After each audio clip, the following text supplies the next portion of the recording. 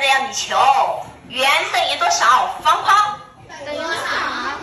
来，今天老师教你们一个新的方法，就是对比法。什么意思呢？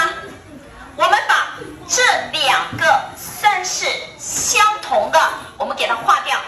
这里一个方框，一个方框划掉。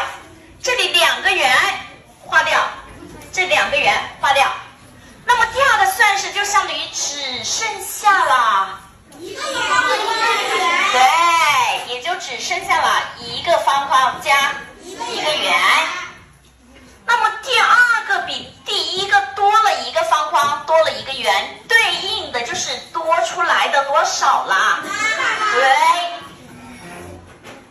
也就是说一个方框一个圆等于八，通过对比得出来。